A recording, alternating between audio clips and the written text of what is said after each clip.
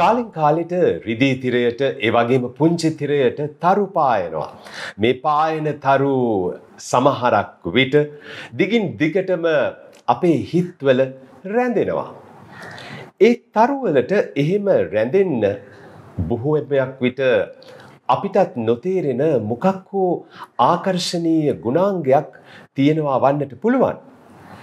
මේ තරුවලට අපි කැමති වන්නේ ඒ තරු සතුවන විශේෂිත වූ දක්ෂතාවයක් නිසා වන්නටත් පුළුවන්. එහෙම අපි හිත්වල හැමදාම රැඳෙන තරුවක් එක්ක අදත් හදවතින් හදවතට කැලුම් සමග මේ කතා බහින් ඔබත් එක්ක එකතු වන්නට මම කල්පනා කළා. කවුද මේ දිලිස්සෙන තරුව? අදත් බොහොම දිලිසි දිලිසි මාත් එක්ක මේ කතාබහට සූදානමින් ඉන්න ඇය නදීෂා හේමමාලි. ඔබ ආයිබුවන් කියලා බොහොම ආදරයෙන් පිළිගන්නවා. ආයිබෝවන් බොහොත්ම ස්තුති ආරාධනා කළාට.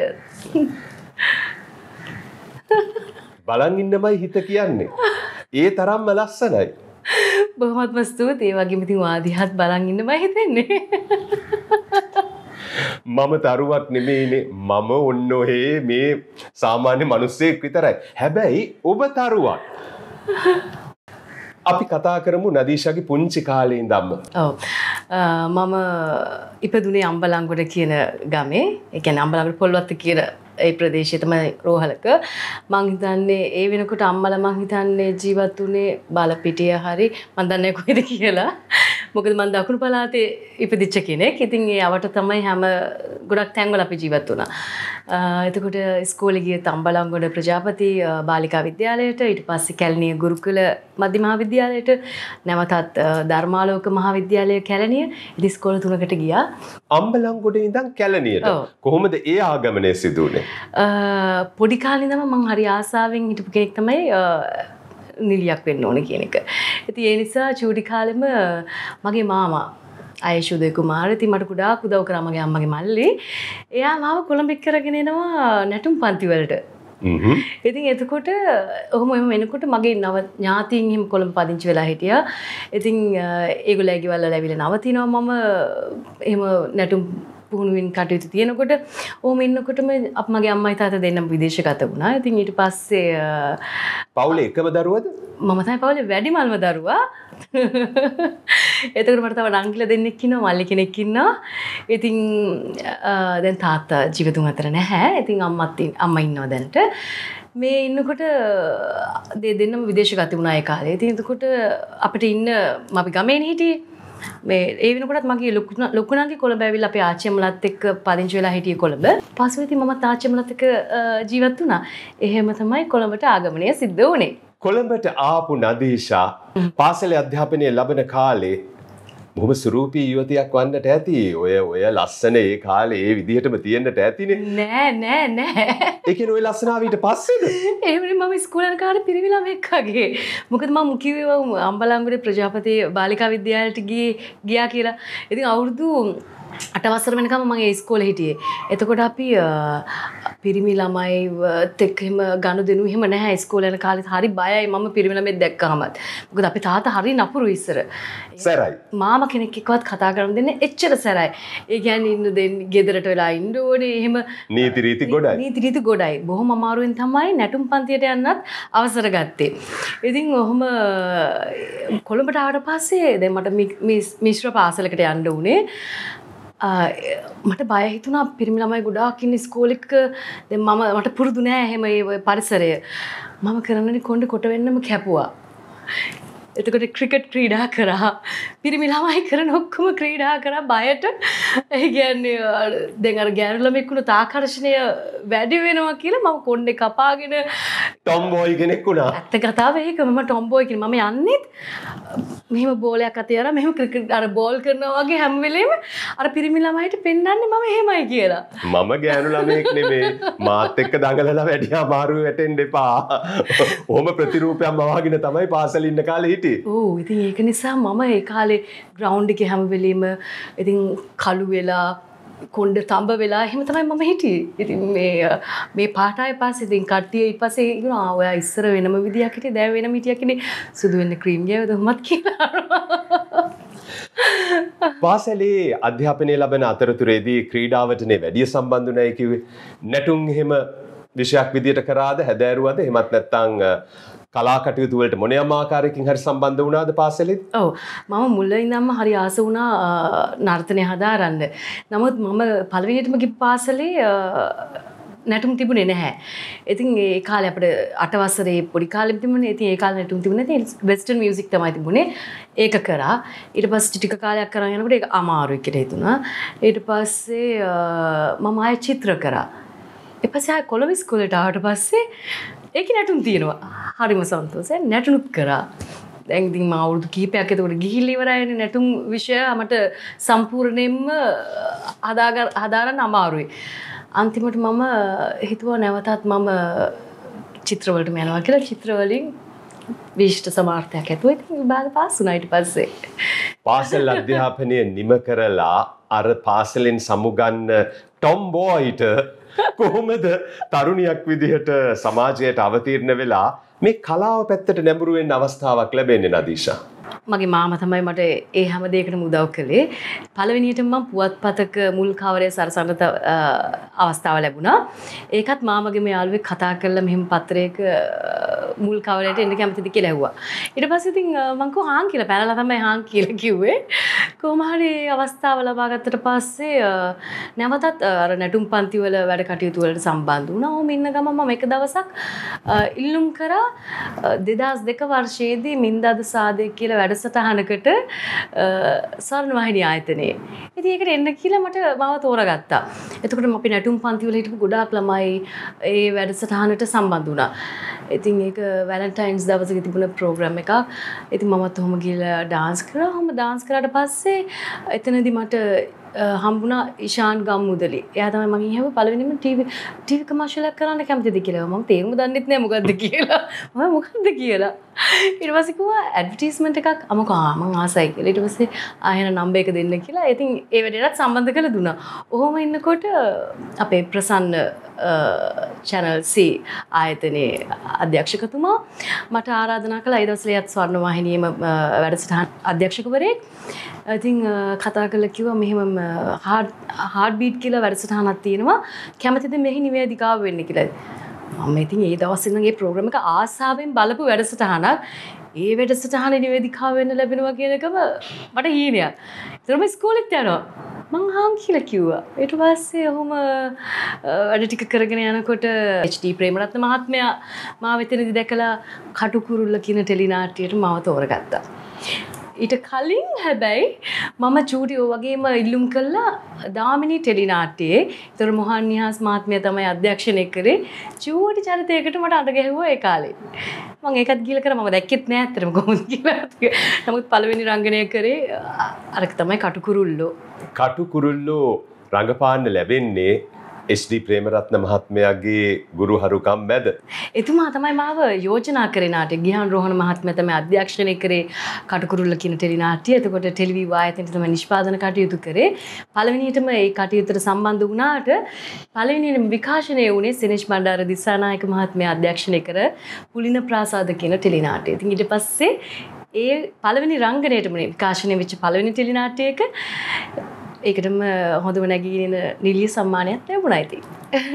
මොන තරම් වාසනාවත්ද පළවෙනිම ටෙලිනාට්‍ය තුළින් වසරේ හොඳම නැගියන නිලිය සඳහා සම්මානයට හිමිකම් කීමට භාග්‍ය ලැබීමම ඔහොම පටන්ගත්ත නදීශගේ රංගන චාරිකාවේ ටෙලිනාට්‍ය කීයක විතර මේ වෙන විට තියෙනවද? ගණන් කල්ල නැද මංහිතන මේ වෙනකොට මම ටෙලිනාට්‍ය හතලිස් හතක් පණහකට පණහකට විතර ආසන් ප්‍රමාණයක් රංගනින් දායකලා තිනේ වගේම කෙටි නාට්‍යවලට කෙටි චිත්‍රපට ඒවත් මං හිතන්නේ විස්සකට විතර ආසන්න ප්‍රමාණයකට සම්බන්ධ වෙලා තියෙනවා. අපි චිත්‍රපටි ගැන පස්සේ කතා කරනවා. ටෙලිනාට්‍ය ගැන කතා කරනකොට නදීෂගේ හිත වඩාත්ම බැඳුණු චරිතය මතක් කරන්න කියලා කිව්වොත්. අදටත් අමතක නොවන පළවෙනිම චරිතය මට කටුකුරුල්ල කියන ටෙලිනාටය එක හරිම සුවිශේෂී. මොකද මම ප්‍රධාන චරිතය රංගපාපු මුල්ම මුල් අවස්ථාව. ඉතින් ඒදවිල් ඇවේ ටෙලි පුංචි තිරහිපු දැවන්තයින් ජනක කුම්භකගේ එතකොට නිමන්ති පෝරගේ අසේල ජයකුඩිමි වගේ වරකගොඩ අංකල්.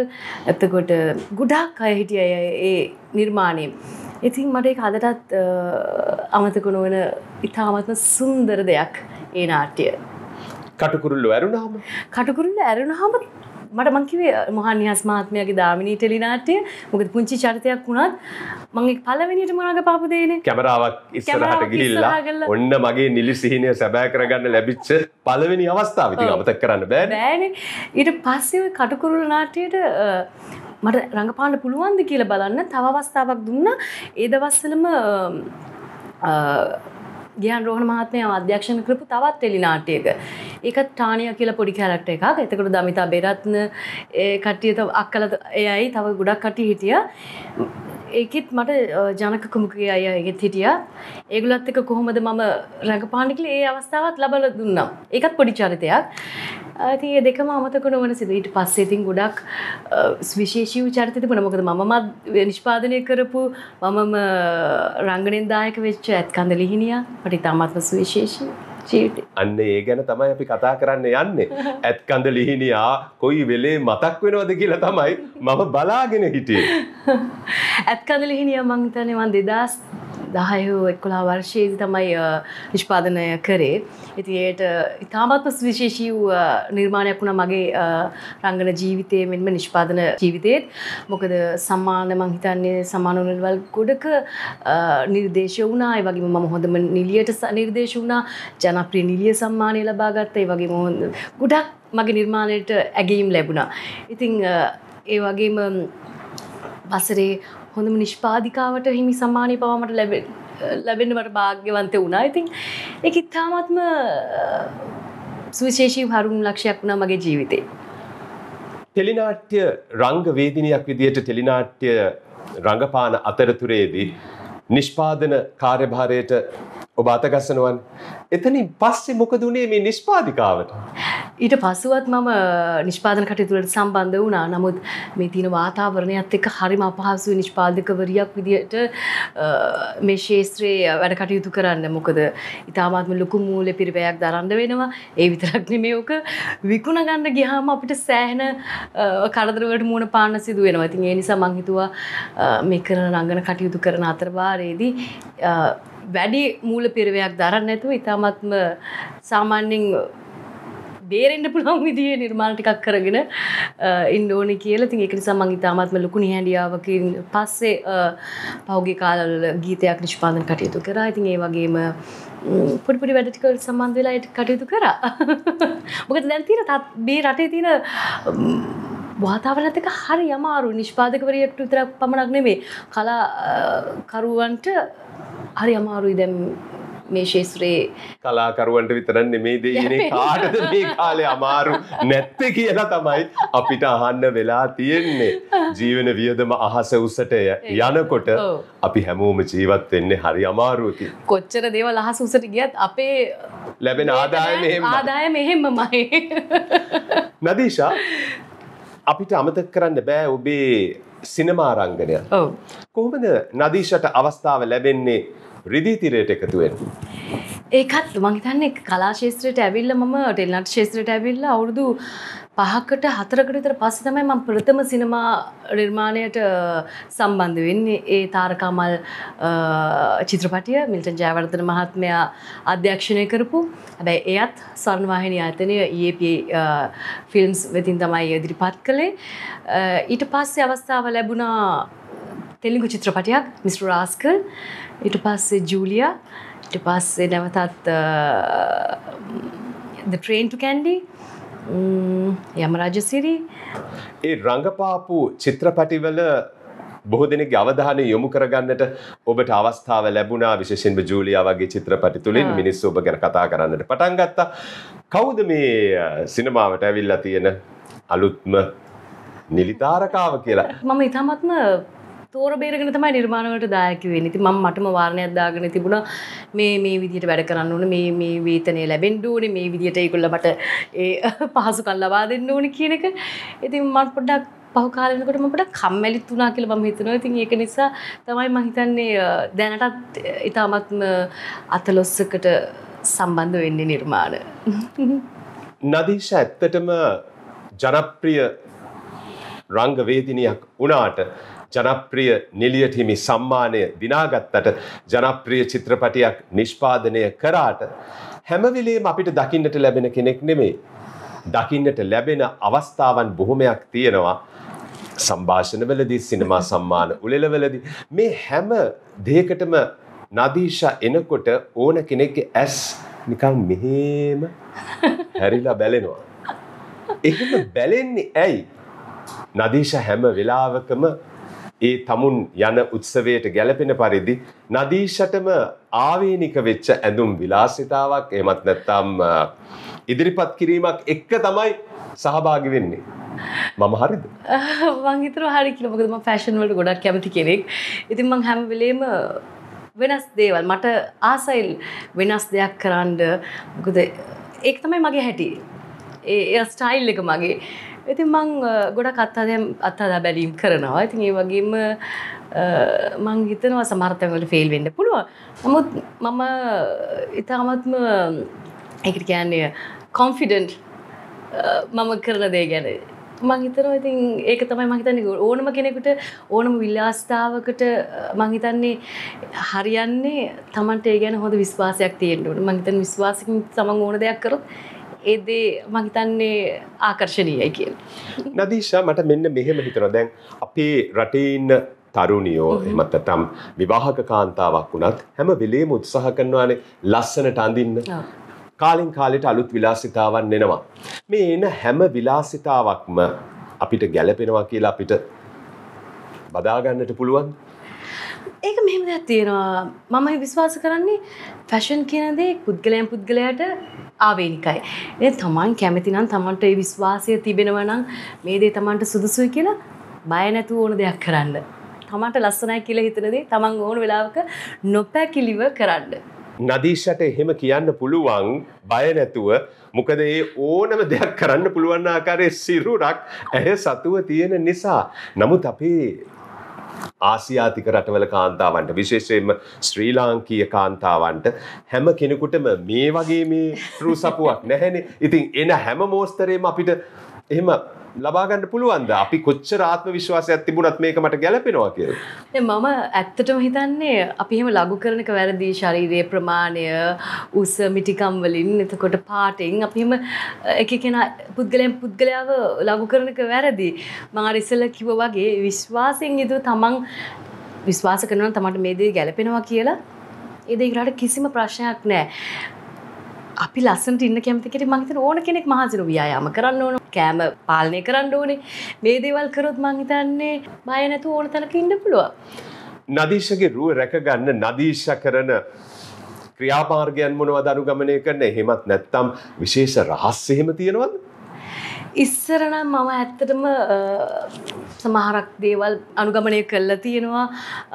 නමුත් දැන් වෙනකොට මං හරි මං කිව්වේ පොඩක් කම්මැලි වෙලා තියෙන කියලා මම සුවිශේෂී දේවල් කරන්නේ නැහැ ව්‍යායාම නම් අනිවාර්යයෙන්ම එදිනදා ජීවිතේදී කරනවා ඉතින් කෑම කනවා ඉතින් බත් ටිකක් එහෙම වැඩිපුර කැවෙනවා ඒක තමයි මගේ ප්‍රීතම ආහාරය බත් කනවා. බත් කනවා දැන් සාමාන්‍යයෙන් බත් කන්න බොහෝ දෙනෙක් කැමති නෑ. නමුත් ගොඩක් දෙනා කියනවා අපි නම් බත් කන්නේ නෑ කියලා. හැමුත් ඔබ බය නැතුව කියනවා මම බත් කනවා කියලා.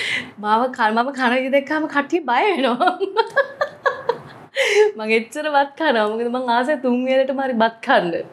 හැබැයි බොහෝ දෙනෙක් දැනගත යුතුම දෙයක් තමයි පාන් කනවට වැඩිය තුන් වේලටම බත් කන එක ඇඟට ගුණයි කියන දේ. බොහෝ දෙනා නොදන්න දෙයක්. බෑ අනිවාර්යෙන්ම මං හිතන්නේ ව්‍යායාම කියන දේ කෙනෙකුට අත්‍යවශ්‍යම දෙයක්. අඩුම තරමේ දවසට පැය භාගයක් හරි ඇවිදින්න පුළුවන් නම් මං හිතන්නේ නිරෝගීකමට ඒ ගොඩාක්ම ඉවහල් වෙනවා.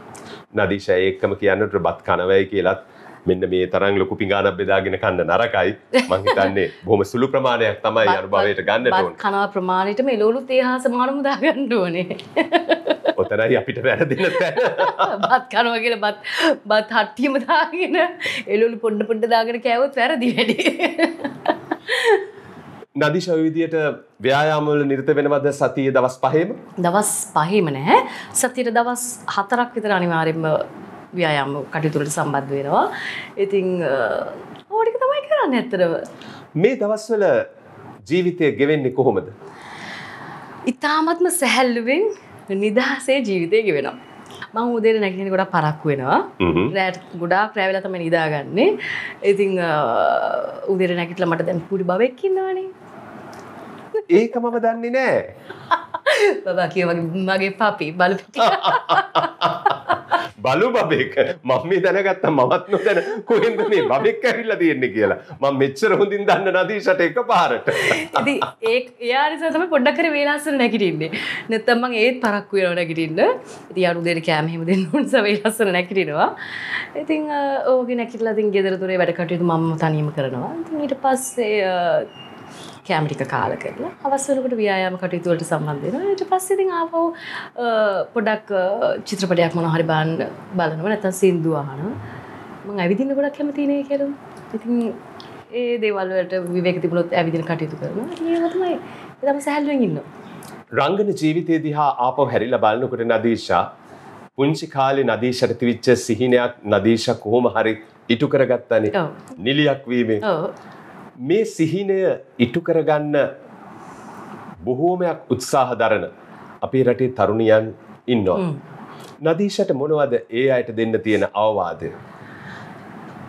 අපි යමක් කරනවා ඒ දේ ගැන අනිවාර්යයෙන්ම හැදෑරීමක් කළ යුතුමයි. ඉතින් ඔය මූලික අධ්‍යාපනයේ යම් කිසි දෙයක් අපිට ඒ දේ ලැබෙන්න ඕන සමානක් කෙනෙකුට වාසනා ගුණය තියෙන්න පුළුවන් ජන්මයෙන් මේ දේවල් වලට හැකියාව. නමුත් මම කියනවා අපි සතත අභ්‍යාසය මේ හැම දෙයක්ම තිබුණොත් අපි කරන දේ හරියටම අපිට කරගන්න පුළුවන්. ඉතින් ඒ නිසා මම හිතනවා කලා ශාස්ත්‍රයේ යම් කිසි කෙනෙක් ඉන්න ඉන්නවා නම් අනිවාර්යයෙන් මේ ගැන හැදෑරීමක් කරන්න. එතකොට අපිට පැවැත්මක් තියෙනවා.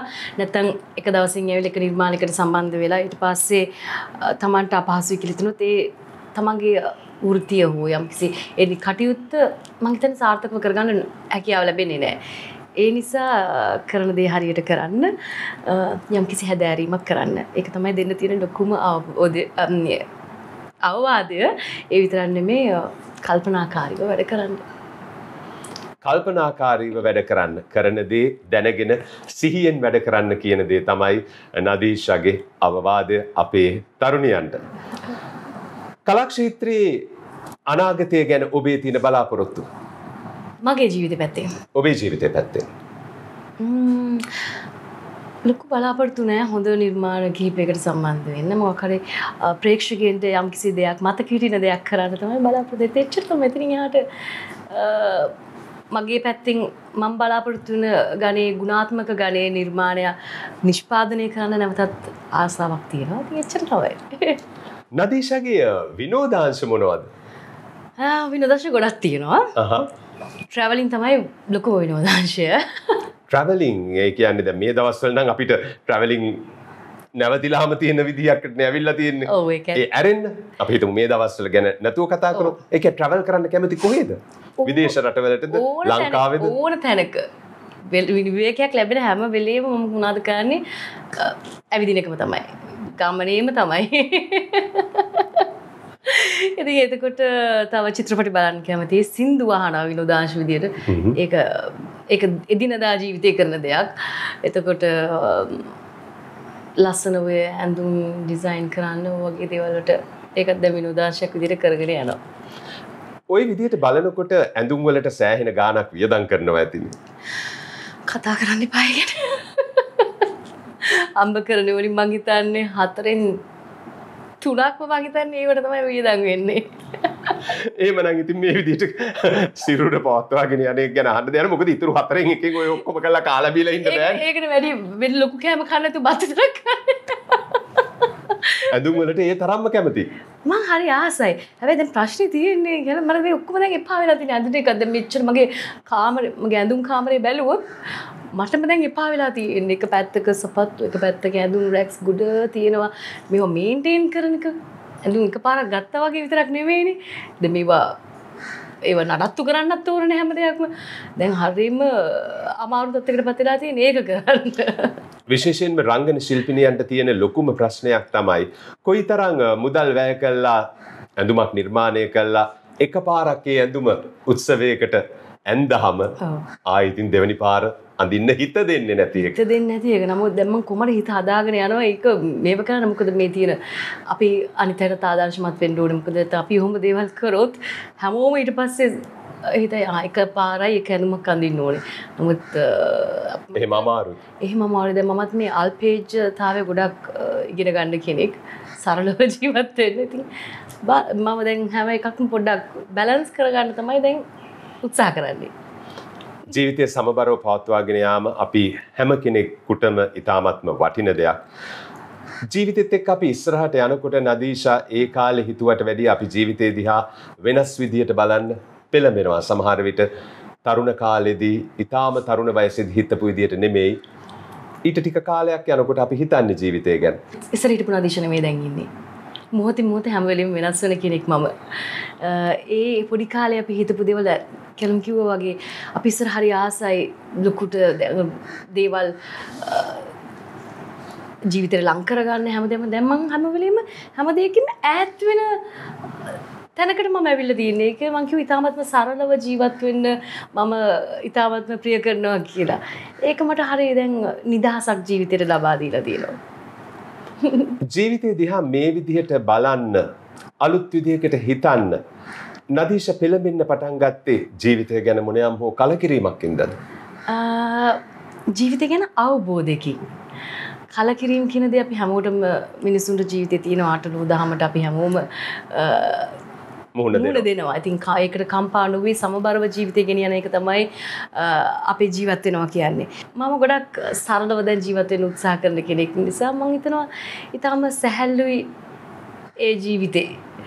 ඒක මම බෞද්ධ දර්ශනය හදා මේ පිළිපදින කෙනෙක්. ඉතින් ඒකෙදී දැනගන්න දේවල්, ඉගෙන ගන්න දේවල් වලින් මං හිතනවා මේක තමයි හොඳම ජීවිතය කියලා. නදීශ චිත්‍රපටි බලන්න ප්‍රිය කරනවා කියලා කිව්වා. විදෙස් චිත්‍රපටිද? ඕනම රටක ඕනම රටක ලංකාවේ චිත්‍රපට පවා මම ගොඩක් නරඹනවා. ඒ වගේම විදේශ චිත්‍රපට මේ හැම දෙයක්ම. සින්දු අහන්න ගියත් ඕනම ගීතයකට මම ඇලුම් කරනවා. නදීශගේ හිත වැඩියෙන්ම ඇදිලා ගිය බොලිවුඩ් නිර්මාණ ගැන කතා කරොත් නැත්නම් රංගන ශිල්පීන් ගැන කතා කරොත් ඒක හරි ආස දෙයක්. තාවත් මගේ ස්කෝල ගිනිපු ෆයිල් එකක් තියෙනවා මේ ඒක තමයි මගේ ඔක්කොම රිපෝට්ස් කාඩ් ඔක්කොම දාලා තියෙන්නේ. ඉතින් මේ ඒක තියෙනවා තාමත් අක්ෂය කුමාර්ගේ දවස්වල බොහොම කඩවසම් මේ දවස් කඩවසම් ඡායරූපයක් ඒ පින්තූර තාම මම මං ගාව තියාගෙන ඉන්නවා. එච්චර මං ප්‍රිය කරන රංගන ශිල්පියෙක් තමයි අක්ෂය කුමාර්. නමුත් දැන් මේ කාලේ බලද්දී රන්වීර් රන්වීර් සේන්. එතකොට මාසක ප්‍රිය කරන කීප දෙනෙක් ඉන්නවා. රංගන ශිල්පිනියන් මම ආසයි මధుර ඩික්සිත් පරණයගෙන්. එතකොට කරීනා කපූර් ප්‍රියංක චොප්‍රා දීපිකා පදුකෝන් මේ අයට. කෙනෙක්ගේ ජීවිතයේ සාර්ථක ගමනක් ඉදිරියට යනකොට නොෙක් දෙනා නොෙක්තේ කියනවා. මේ වගේ සමහර වෙලාවට නදීශගේ ජීවිතේ නදීශ නොහිතපු ආකාරයේ චෝදනා අපවාද එල්ල වෙන්නට පුළුවන්. අපි හැම කෙනෙකුටම පොදුයි. අටලෝ දහම නින්දා ප්‍රශංසා. නදීශගේ ජීවිතයටත් එය වෙනසක් වෙන්න විදියක් නෑ. තරුණියක් විදියට ජීවිතයට මේ වගේ දේවල් එල්ල වෙනකොට කොහොමද නදීශ හිතාතාගන්නේ? අදටත් ඉතින් අපි හැමෝටම අපි හැමෝම අත්විඳින දෙයක් තමයි මේ නින්දා ප්‍රශංසා මේ හැම දෙයක්ම. ඉතින් දැන් මම මැදහත් සිතින් මේ හැම දෙයක්ම විඳ දරා ගන්නවා. මං කිව්වේ අර ඉස්සෙල්ලා වගේම මං හැම දෙයක් ගැනම මැද මධ්‍යස්ථව හිතන නිසා මේ දැන් හැම දෙයකටම හුරු වෙලා ඉන්නේ. දැන් කිසි ප්‍රශ්නයක් නැහැ. ඒකට ඔළුව හදාගත්තට පස්සේ අපි පිට බාහිර ලෝකයේ අපිට ප්‍රශ්නයක් කරගත්තොත් තමයි මං හිතන්නේ අපිට ඒක ගැටලුවක් එන්නේ. තමන්ගේ ජීවිතේ තමන් ජීවත් වෙනවා නම් තමන්ට කැමති විදියට කිසි කෙනෙකුට කරදරයක් නොකර බාධාවක් නොකර ඒක තමයි සුන්දර ජීවිතය. මම මෙහෙම ඇහුවොත් නදීශ ජීවත් වෙන්නට ඕන නදීශගේ හෘද සාක්ෂියට එකඟව විතරයි කියලා. අනිවාර්යෙන්ම මම ජීවතින් මගේ හෘද ශාක්ෂයට එකගව ඉති ඒක නිසා තමයි කිසි කෙනෙකුට මාව වටන්න බැරි. මේ තා කාපු ගමනේදී නදීශගේ ජීවිතයට පහනක් වෙච්ච ආලෝකයක් වෙච්ච පිරිසකුත් අනිවාර්යයෙන්ම ඉන්නට ඇති. මගේ ආදරණීය පවුල ඒ වගේම මගේ මාමා අයිශුද කුමාර. එතකොට මගේ ඒ කාලින්දම මට ගුරුහරුකන් දීපු මගේ ගුරුවරු ඉතින් ඒ විතරන්න මේ මේ ශේත්‍රයේ මං කිව්ව විදිහට ප්‍රසංග ගුණසිංහ මහත්මයා විශේෂයෙන් මතක් කරන එයා තමයි මාව පළවෙනිටම නිවේදිකාවක් විදිහට ශේත්‍රයට හඳුන්වලා දුන්නේ. ඉතින් ඒ වගේම ගිහාන් රෝහණ මහත්මයා මට මුල කාලේ ඒ වැඩ කටයුතු ලබා දීලා මාව රංගන ශිල්පිනියක් විදිහට මම හඳුන්වා දුන්න කට්ටිය ඒ වගේම මට නර්තනය උගන්වපු මගේ ගුරුවරු මේ සියලු දෙනාම. ඒ වගේම මගේ ආදරණීය ප්‍රේක්ෂකයන්ව කවදාවත් අමතක කරන්න බෑ. ඔවුන්ගේ ආදරය නිසා තමයි අද මම මෙතන ඉන්නේ. නදීෂා හොඳට මුල මතක තියෙන රංගවේදිනියක්. ඒ නිසාවෙන්මයි කීප වරක්ම පුංචිතිරේ මුලින්ම වැඩ කරපු පිරිස ගැන නැවත නැවතත් මතක් කරන්නේ.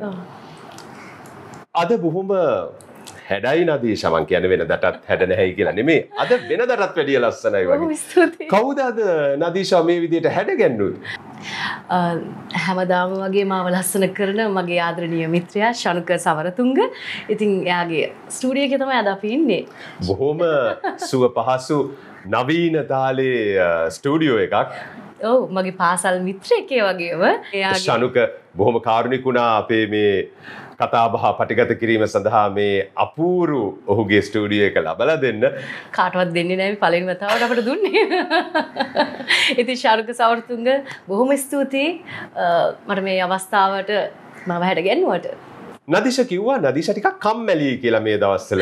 මේ කම්මැලිකම හින්දම පුංචිතිරේ රිදීතිරේදී නදීශව අපිට ඉස්සරහට දකින්න නොලැබේවිද? නෑ නෑ එහෙම වෙන්නේ නෑ. මං කිව්වේ ඉතාලම තෝර බේරගෙන තමයි නිර්මාණ වලට සම්බන්ධ වෙන්නේ. මොකද දැන් තියෙන තත්වෙත් එක්ක මං කිව්වේ හරි අපහසුයි වැඩ කරන්න. පිටපතක් ලැබෙන්නේ නෑ. එක්ක එක දවසට දැන් අපි දැන් කිව්වොත් අපිට සාමාන්‍යයෙන් අපි ඉස්සර කොටස් 35 වගේ ටෙලිනාට්‍ය කරන්නේ මාසයක් එකමාරක් විතර ගන්නවා රූගත කිරීම වලට පමණ. දැන් අපි ඒ කොටස් 35 නෙමෙයි කොටස් 70ක් විතර කරන්න දවස් 10න් විතර කරනවා. ඒ ඒ අපිට කරන්න ඕන නිර්මාණශීලීව අපිට කරන්න වෙලාව දෙන්නේ නැහැ. ඇත්තටම දැන් වෙන බොහොමයක් ටෙලිනාට්‍ය වල බලන්න තෝරගන්න කලින් පිටපතක් නෑනේ. ඒක තමයි ඒ ලොකේෂන් එකේ පස්වල ගැන නිර්මාණය කරන ස්ථානයේදීම පිටපත ලියනවා. ඒක ගැන මේක කියන්න කියන. එතකොට අපිට ඒකට කලින් තිබුණ දර්ශනවල කටිනිට හැඟීම් කොහොමද එතකොට ඊට පසුව තියෙනවල අදහස කොහොමද අපිට පස්සේ හැසිරෙන්න ඕන කොන්නේ කිසි දෙයක් ගැන අපට අවබෝධයක් නැහැ. එතකොට අපි ගෙදරින් ඇඳුම් ටික ගේන්න කියලා කියනවා සමහරක් අවස්ථාවලදී කිසිම සංවිධානාත්මකව ඒ දේවල් කරන්නේ නැති නිසා මං හිතනවා ගොඩාක් අවරගණයේ නිර්මාණය එහෙම නොකරනවා නෙමෙයි හොඳ නිර්මාණ කරනවා. තාම සුළු ප්‍රමාණය තාම සුළු ප්‍රමාණය සුළු ප්‍රමාණයයි. බහුතරයක්ම වෙන්නේ අර වගේ නිර්මාණ. බහුතරය 175ක් එහෙමයි කියත හැකි. අතපහක්ම 90ක්ම මං තව චුට්ටක් ඉඩ දීලා තිබ්බා. මම මම ඉතින් කෙලින් කතා කරන්න කෙනෙක් බය වෙන්න ඕනේ ඉතින් ඒක නිසා ඔය නිර්මාණ කරන මමත් නිෂ්පාදකවරියක් විදිහට මම දන්නවා දැන් මේ තියෙන වාතාවරණයත් එක්ක වැඩ කරන්න අපහසුයි කියන නිසා. ඉතින් ඒ නිසා අලුතෙන් එන අපි නොදන්න රංගන ශිල්පීන් ශිල්පිනියන් කියන්නේ එක්ස්පීරියන්ස් නැති පළපුරුදු නැති අයව ගෙනනවා. එතකොට ඒ ඇත්තක වැඩ කරද්දී අපිට හරි අමාරුයි. ඉතින් ඒක මං කිය එකයි කිව්වේ එන වැඩ කරන කෙනෙක් අවබෝධයක් ඇතිව ශේත්‍රයට එන්න ඕන කියලා ඕනම කෙනෙක්. ඉතින් හැදෑරීමකින් පසුව. හැදෑරීමකින් පසුව. ඉතින් ඒ නිසා ඒ වගේ නිර්මාණ වැඩ කරද්දී මං හිතනවා අපිට 100%ක් අපට අවශ්‍ය සාධාරණීය නිර්මාණයට කරන්න අපහසුයි. ඉතින් ඒ නිසා අර මං කිව්ව 110 නිර්මාණ ප්‍රමාණයක් තියෙනවනේ. ගුණාත්මක නිර්මාණ. ඒ නිර්මාණ වලට සම්බන්ධ වෙන්නේ මං හිතනවා මුදල ගැන මම හිතන්නෙත් නැතුව ඉතාම සතුටින් ඒ නිර්මාණයට මම දායක වෙනවා. ඒ නිසා ඉතාමත්ම සුළු ප්‍රමාණයකින් තමයි දකින්න ලැබෙන්නේ. කවදාවත් මම මේ රංගන කටයුතු අතාරින්නේ නැහැ. මේක මගේ ජීවය හා සමානයි. නිලියක් වීමේ අරමුණ ඇතිව පුංචි කාලේ ඉඳන් සිහින මවමින් හිටපු නදීෂගේ ඒ සිහිනය සැබෑ වෙලා ඉතින් මේ සිහිනෙන් අවදිවන්න මොකටද නදීෂා උත්සාහ කරන්නේ? නදීෂා අපේ හිත්වල හැමදාමත් ඉඳීවි ඉදිරියේදී හොඳ ගුණාත්මක නිර්මාණ තුළින් ඇයව අපිට දකින්නට ලැබේවි. ඔය තරම් ලස්සනට ඉන්න හින්දම මට හිතෙනවා මෙහෙ මහන්න. විශේෂයෙන්ම මේ ඔය ලස්සන රැකගන්න රූපලාවන්‍ය නිෂ්පාදනයම පාවිච්චි කරනවා ඇතිනි. අපිකට කතාලෝකර මම මංකිව වැඩි පාවිච්චි කරන්න නෑ කියලා ගිසිගොට එහෙම පාවිච්චි නොකරට කමක් නෑ. අපේ රටේ නම ජාත්‍යන්තරයට ගෙන ගිය ආයතනයක් තමයි ස්පාසිලාන ආයතනය. ඉතින් ස්පාසිලාන ආයතනය නදීශත් එක්ක ඒක දැන් පාවිච්චි කරා ක්‍රීම් එක. නදීශත් එක්ක මේ කතාබහට එනවා කියලා කිව්වම මට දුන්න මේ නිෂ්පාදන අඩංගු තෑගි පාසලයක් නදීශට දෙන්න කියලා ආදරෙන් බාරගන්න. පුංචි තිලිනයක්. ඔය ස්පාසිලාවන් නිෂ්පාදන නම් කවුරුවත් එපැයි කියන්නේ නෑ. ඒක පාවිච්චි කරන මං කිව්වා නිදා ගන්න කලින් ඒක තියෙනවා අ, හොඳ බාම් එකක් මම ඒකත් පාවිච්චි කරනවා. ගෙදර ගිහිල්ලම් බලන්නකෝ. ස්තුතියි. මම හිතුවා නදීශට පුංචි තිලිනයක් දෙන්න ඕන කියලා. මේක බොහොම පුංචි. මේ බරත් නෑ. බොහොම පුංචි තිලිනයක්. මාව මතක් වෙන්න මේ පුංචි තිලිනයක් තියාගන්න. දාම මතක් වෙනවා. බොහොම ස්තුතියි මේ තිලිනයටත්. තෑග්ගේ අ, ලොකු පොඩි නෙවෙයි. ඒ වටිනාකම ඒ තෝට් එක. ඒ අදහස. සිතුවිල්ල. සිතුවිල්ල. නදීශා ඔබේ ජීවිතයේ අනාගත අපේක්ෂාවන් සියල්ලම මල්පල ගැන්වේවා. සිතන පතන හැමදේම ඒ අයුරින්ම ඉටුවේවා. ඔය ලස්සන ඔය සුඳුරු බව හැමදාමත් ජීවත්ව සිටින තාක්කල් ඒ විදිහටම ඔබ සතු වේවා කියලා තෙරුවන් සරණින් මම ප්‍රාර්ථනා කරනවා. බොහොමත්ම ස්තුතියි කැලුම් ඒ වගේම ඔබගෙත් වැඩ කටයුතු සියල්ලම සර්ව ප්‍රකාරයෙන් සාර්ථක වෙන්න කියලා හදවතින්ම මම ප්‍රාර්ථනා කරනවා. ආයිබෝවන්. ආයිබෝවන්.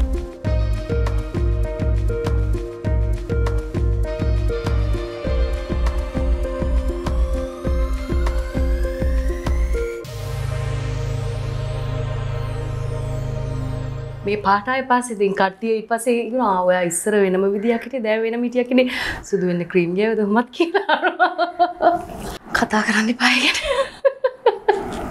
අම්බ කරන වලින් මං හිතන්නේ හතරෙන් තුනක්ම මං හිතන්නේ ඒවට තමයි වියදම් වෙන්නේ. ඉස්සර හිටපු නදීෂණ මේ දැන් ඉන්නේ. මං හැම වෙලෙම හැම දෙයකින්ම ඈත් වෙන තැනකට මම ඇවිල්ලා තියෙන්නේ. මට දැන් පුඩි බවෙක් ඉන්නවනේ. මම ජීවතින් මගේ හෘද සාක්ෂියට එකඟව. ඉතින් ඒක නිසා තමයි කිසි කෙනෙකුට මාව වටන්න බැරි. තමන්ගේ ජීවිතේ තමන් ජීවත් වෙනවා නම් තමන්ට කැමති විදියට කිසි කෙනෙකුට කරදරයක් නොකර බාධාවක් නොකර ඒක තමයි සුන්දර ජීවිතේ.